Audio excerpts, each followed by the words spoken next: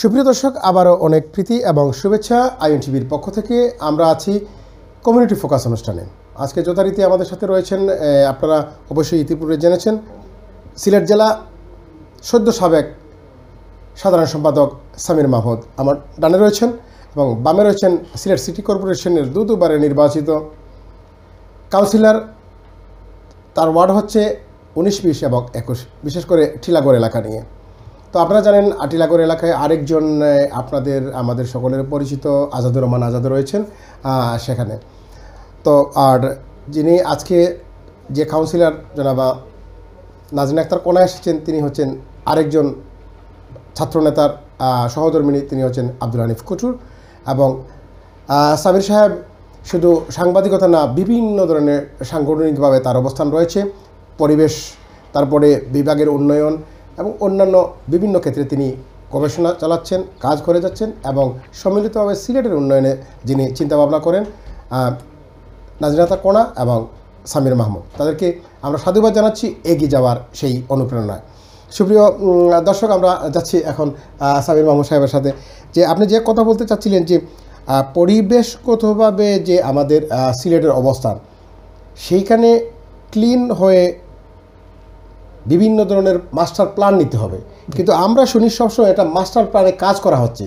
তো সেই জায়গায় কি মনে করেন যে এটা শুধুমাত্র লুক দেখানো একটা অবস্থান মাস্টার এবং আমি নিজেই গত বছর এই এই সময় ছিলাম বাংলাদেশে। দেখেছি ড্রেইনে অনেক কাজ হচ্ছে। কিন্তু দেখা যায় ড্রেইন এমনিতে কাজ করা হচ্ছে কিন্তু আবার ভরে যাচ্ছে। হ্যাঁ এর মানে হলো যে কোনো পরিকল্প করা হচ্ছে কিন্তু পরিকল্পনা মাফিক না। তো সেই বিষয়টা আপনি কীভাবে ধরবেন? আসলে আজকে অত্যন্ত দুঃখ দুঃখজনক, আজকে দুই দশকের উপরে হয়ে গেল সিলেট সিটি কর্পোরেশন হয়েছে। দুই সালে সিটি কর্পোরেশন ঘোষণা করা হয়, উন্নীত করা হয় পৌরসভা থেকে। কিন্তু এরপরে দুই দশক পেরিয়ে গেলেও আজ পর্যন্ত উন্নয়ন কর্তৃপক্ষ হয়নি। একটি সিটি কর্পোরেশনের উন্নয়ন কর্তৃপক্ষ যদি না থাকে, তাহলে যা হওয়ার তাই হয়। এই যে মাস্টার প্ল্যান শুধু মুখেই বলা হয়, এটি আস- আসলে আমরা বাস্তবে দেখতে পাই না। যার কারণে আমরা বিভিন্ন সময় আমরা আমাদের দাঁড়াতে হয়। আজকে দেখেছি যে এই দেখেন লন্ডনে আপনার যে আমি এই যে এলাকায় আসলাম নিউহামে এই যে এলাকা আমি দেখলাম যে প্রত্যেকটা এলাকা যে পরিকল্পিতভাবে তার রাস্তার দুধারে বৃক্ষ রয়েছে। কিন্তু আমাদের উন্নয়নের নামে কি করা হয়? যে বৃক্ষ কেটে ফেলা হয়। কিন্তু এই বৃক্ষ রেখে যে সুন্দর একটি রাস্তা করা যায় একটি সড়ক দ্বীপ করা যায় এটি কিন্তু আমরা করছি না। এই এটা কিন্তু আমাদের করতে হবে। এই বিষয়গুলো নিয়েই আমরা কাজ করি। আর আপনার জানেন সিলেটের সিভিল সার্জন অফিসের সামনে একটি বিশাল একটি শতবর্ষী গাছ সেটি কাটার জন্য উদ্যোগ নেওয়া হয়েছিল। আমাদের বাপার সাধারণ সম্পাদক সিলেট জেলা কমিটির আব্দুল করিম কিম আমরা সবাই চলে গিয়েছিলাম সেখানে। সেখানে গিয়ে আমরা আম, প্রতিবাদ জানিয়েছে এবং সেই বৃক্ষটিতে আমরা লাল কাপড় বেঁধে দিয়ে বলেছিলাম যে আমার প্রাণ আছে, আমাকে হত্যা করবেন না। আমি আপনাদের অক্সিজেন দেই, আমি আপনাদের জ্বালানি দেই, আমি আপনাদের ছায়া দেই। তো এই যে বিষয়গুলো, এগুলোকে প্রত্যেকটা নাগরিকের অনুধাবন করা উচিত এবং যারা নগরের পরিচালনার দায়িত্বে থাকবেন বা থাকছেন, তাদেরও এটি বোঝা উচিত এবং এই বিষয়গুলো নিয়ে কিন্তু দীর্ঘ তিন দশক ধরে আমাদের আব্দুল করিম কিমবাই পরিবেশ নিয়ে কাজ করেন। আমরা তার সাথে কাজ করি। মূলত এই একটি মানুষ যে এই সিলেটের পরিবেশ রক্ষার জন্য কোনো কিছু হলেই পাহাড় টিলা কাটা হচ্ছে, আমরা সেখানে চলে যাই। কিংবাই সেখানে আছেন। আপনার অত্যন্ত দুঃখজনক যে আমাদের কোনাপার এলাকা, এই যে বালুচর, সেখানে কিন্তু প্রচুর টিলা কাটা হয়। এখানে আদিবাসী জনগোষ্ঠী বসবাস করে যে আমাদের ওরাও জনগোষ্ঠী। তাদের গড় বাড়ির টিলা কেটে কেটে কেটে কেটে কেটে ফেলা হচ্ছে যে তাদেরকে একবারে এখান থেকে বাস্তুচ্যুত করার জন্য চেষ্টা করা হচ্ছে। এই বিষয়গুলো যেন আমাদের পরিবেশ অধিদপ্তর, আমাদের সিলেট সিটি কর্পোরেশন এবং আমাদের নাগরিকরা এবং রাজনীতিবিদরা অনুধাবন করেন। এবং এরা কিন্তু আমাদের যে বৈচিত্র্যময় যে সিলেট, আমাদের যে আধ্যাত্মিক রাজধানী সিলেট, আমাদের যে সব ধর্ম বর্ণের যে একটি সম্প্রীতির মেলবন্ধন স্থল সিলেট, সেটিকে এরা কিন্তু রিপ্রেজেন্ট করেন। তাই তাদেরকে রক্ষা করতে হবে। এর জন্য আমরা অনেক আন্দোলন সংগ্রাম করেছি। আমরা তাদেরকে রক্ষার জন্য কাজ করে যাচ্ছি।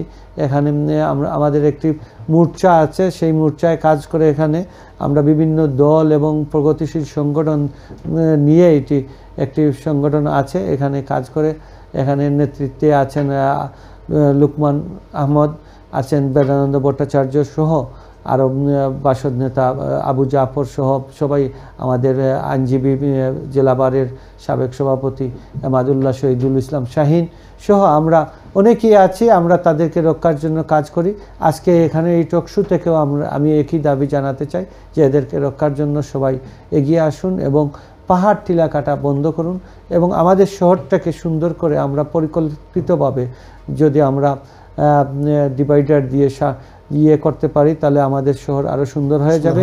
আপনি জানেন যে সিলেটের যে জিন্দাবাজার সিটি কর্পোরেশন থেকে শুরু করে আপনার আম্বরখানা পর্যন্ত অন্যদিকে আমাদের যে যে ওয়ানওয়ে হয়েছে এবং একই সাথে আমাদের যে আন্ডারগ্রাউন্ডে চলে গেছে বিদ্যুতের তার।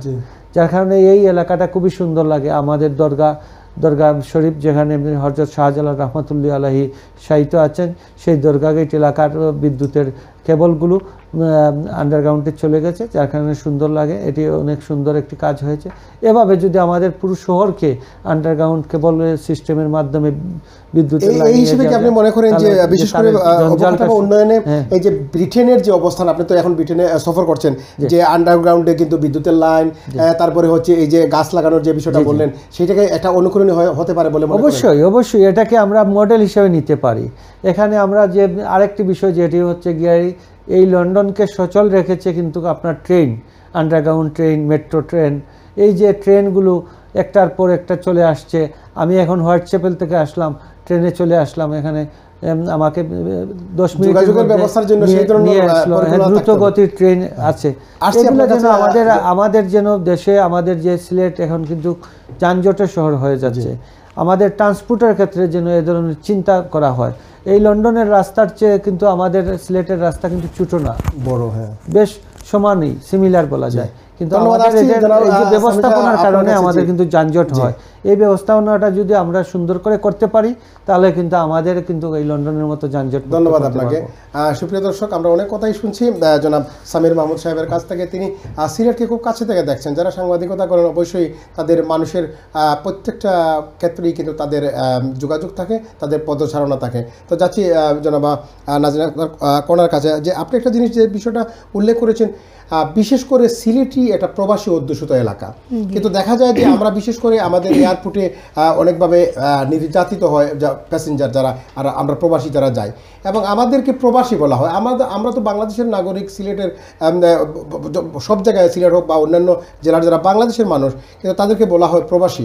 তো সেটা বলা হয় কোনো ব্যাপার না। কিন্তু যখন দেখা যায় এয়ারপোর্টে নির্যাতিত হয়, তাদের জায়গায় জমি দখল করা হয় এবং নারী বিশেষ করে বিশেষ করে আপনাদের কাছে অবশ্যই বিচার বা বিভিন্ন ধরনের দাবি দাওয়া নিয়ে মানুষ যায় জায়গা জমি সহ।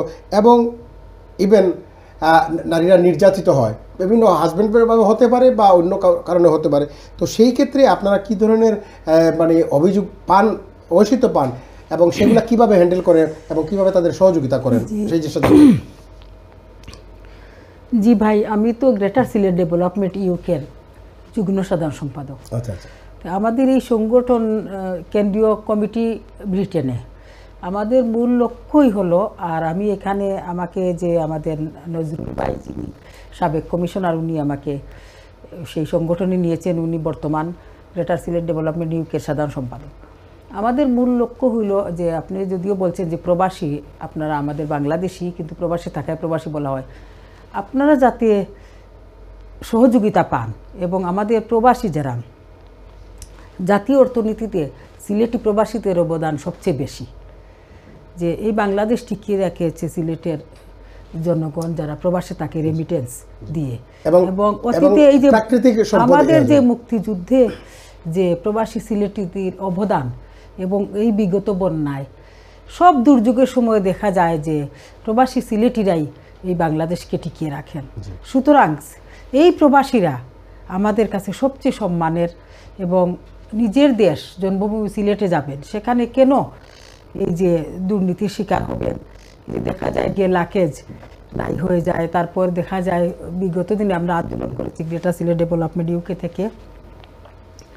ওই যে লন্ডনে এই ভিসা সেন্টার ইন্ডিয়াতে নিয়ে গিয়েছে। সেটা তো মেনে নেবার কথাই না। আমি তো মনে করি সিলেটিরা যদি প্রবাসীরা হেল্প না করেন তাহলে বাংলাদেশ টিকে থাকাই কঠিন। সুতরাং প্রবাসী সিলেটিরা যাতে শান্তিতে সিলেট যেতে পারেন এবং সিলেটের উন্নয়নে কাজ করতে পারেন। আমাদের যে প্রাকৃতিক সম্পদ সারা বাংলাদেশে সেটা সিলেটের যে প্রাকৃতিক সম্পদ পাথর চা পাতা বালু গ্যাস, তেল, সব কিছুই আল্লাপাক আমাদেরকে যে মানে যে দিয়েছেন আমাদের সম্পদ সেটা যদি আমরা সঠিকভাবে আমরা মানে জি তাহলে আমরা সিলেট শান্তিনগর সিলেট অনেক সুন্দর থাকবে এবং প্রবাসীরা যাতে হয়রানি না হন সেটার জন্যই আমাদের সিলেট ডেভেলপমেন্ট ইউকের সাথে আমি জড়িত এবং এটা আমরা সবসময় সেটা আন্দোলনে আছি যাতে আপনারা পরবর্তী প্রজন্ম যারা তারা এই সিলেটে যাতে যায় এবং আমাদের সেই শিল্পনগরী গড়ে তুলতে পারে। প্রাকৃতিক পরিবেশকে ঠিক রেখে আমি একজন কাউন্সিলর হিসাবে সংরক্ষিত ওয়ার্ডের কাউন্সিলর ভোটে নির্বাচিত। আমি আমার ওয়ার্ডে যতটা ড্রেন বা হয়েছে আমি মেয়রকেও আমি একেবারে মাসিক মিটিংয়ে বলেছি যে গাছ লাগানোর জন্য ড্রেনের সাইডে সাইডে। মানে রাস্তার চতুর্দিকে সবুজায়ন করার জন্য গাছ লাগানোর জন্য। এবং টিলাগড়কেও এরকম একটা সুন্দর এখানে যেহেতু মুক্তিযুদ্ধের স্মৃতি আছে এখানে এরকম করে তোলার জন্য। এবং প্রায় সময় দেখা যায় আমি নিজেই বন্ধ করায় যে কুরবানির সময় গরুর বাজার। দুঃখজনক হলো সত্যি যে সম্মানিত কাউন্সিলর আসলে আমাদের হাতে একদম সময় শেষ পর্যায়ে চলে এসেছি। আমরা অনেক কিছু কথার অনেক কিছু জানার আপনাদের আপনারা যখন আসেন বা আমরাও যখন দেশে যাই আপনাদের একটা একটা আবেগপ্রবণ অবস্থান থাকে আমরা জানতে চাই। কিন্তু এই সময়ের ভিতরে অনেক কিছু আর জানা হলো না। তারপরে কথা বলেছে এই যে আজকে এসেছেন আমাদের এই অনুষ্ঠানে আজকে কিছুটা হলেও আমাদের যে প্রবাসী যারা রয়েছেন আপনাদের মাধ্যমে সহযোগিতা পাবেন সেই জন্য প্রত্যাশা রাখি এবং শেষ বিষয়টা আমাদেরকে কীভাবে আশ্বাস দিতে পারেন যে আমাদের জন্য দেশ নিরাপদ? জি, আমি আশাবাদী যে যতদিন পর্যন্ত আমরা একটা দুর্নীতিমুক্ত বাংলাদেশ এবং আমাদের সিলেট গড়ে তুলতে না পেরেছি, ততদিন আমি আমার আন্দোলন চালিয়ে যাবে। আমার মূলত যে বারবার ইলেকশনে দাঁড়ানো বা নির্বাচিত হওয়া আমার মূল লক্ষ্যই যে সমাজকে দুর্নীতিমুক্ত করব ধন্যবাদ এবং সব অন্যায় প্রতিবাদ করব। ধন্যবাদ। এবং বঙ্গবন্ধুর সোনার Bangladesh thank you thank you আপনাকে। সুপ্রিয় দর্শক অনেক সুন্দর কথা বললাম। সামি সাহেব যে আপনারা জানেন আমরা একটু কথা এবং শেষ কথা আমরা তো অনেক সময় দেখা যায় যে বিদেশিরা প্রবাসীরা আমরা আপনাদের এই যে সিলেটে বন্যা হলো সারা বাংলাদেশের মানুষ কিন্তু সহযোগিতা করেছে সিলেটকে অন্যভাবে দেখেছে। তো আমরা দেশের উন্নয়নের ক্ষেত্রে সারা সব জায়গার মানুষ কিন্তু তার নিজ এলাকার জন্য কাজ করে যাচ্ছে। আমরাও যাই আপনাদের স্মরণাপন্ন হই যখন আমরা নির্যাতিত হই নিপীড়িত হই আমাদের জায়গা জমিন বাসা বাড়ি দখল হয়ে যায় তখন আপনাদের একমাত্র জায়গা বলার জায়গা কিন্তু সাংবাদিকদের কাছে। আমরা প্রেস ক্লাবে বিভিন্ন ধরনের সম্মেলন হয়ে থাকে কথা বলার। তো সেক্ষেত্রে আপনারা কীভাবে সহযোগিতা করেন? যে অবশ্যই। আমরা তো প্রবাসীদের সাথে সবসময় আন্তরিকভাবে কাজ করি আর প্রবাসীদের কল্যাণে কাজ করি। এবং আমি বিগত কিছুদিন আগেও আমাদের ফাস্টফুড অধিদপ্তরের ভিসা এবং ফাস্টফুড অধিদপ্তরের অতিরিক্ত মহাপরিচালক সিলেটে এসেছিলেন এবং তিনি বিভাগীয় পর্যায়ে যে ফাস্টফুডের সেবা এবং বিষয়গুলো ইমিগ্রেশন নিয়ে তিনি সহজীকরণ নিয়ে জেলা প্রশাসনে মত বিনিময় করেছেন। আমি সেখানে ছিলাম সিলেট তখন আমি সিলেট জেলা প্রেস ক্লাবের সাধারণ সম্পাদক হিসেবে আমি সেখানে প্রিসাইড করি ধন্যবাদ আমরা বলেছি যে যাতে প্রবাসীদের যে বিষয়গুলো যে সহজ করার জন্য আমরা কিছু প্রস্তাব দিয়েছি যে বলা হয়েছে যে ধন্যবাদ আপনাকে। যে বিষয়গুলো সুপ্রিয় দর্শক আমরা শেষ পর্যায়ে আমরা এখন যাবার পারলাম আমাদের সাথে আজকে ছিলেন আমাদের অত্যন্ত সম্মানিত সিলেট জেলা প্রেস ক্লাবের সদ্য সাবেক সাধারণ সম্পাদক সামির মামু সাহেব এবং আমার অত্যন্ত কাছের মানুষ এবং আমার আমার বিশেষ করে আব্দুল আলী ফুরু সাহেবের যারা আমরা একসাথে কলেজে ছিলাম, ওনার সহধর্মিনী এবং উনিও আমাদের বলা যায় যে ইয়ারমেট।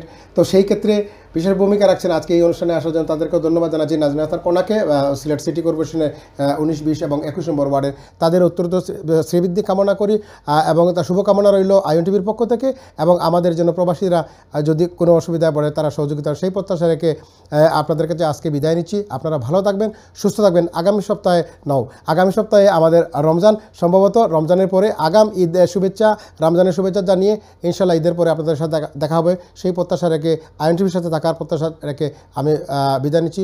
ভালো থাকবেন সুস্থ থাকবেন। ধন্যবাদ সকলকে।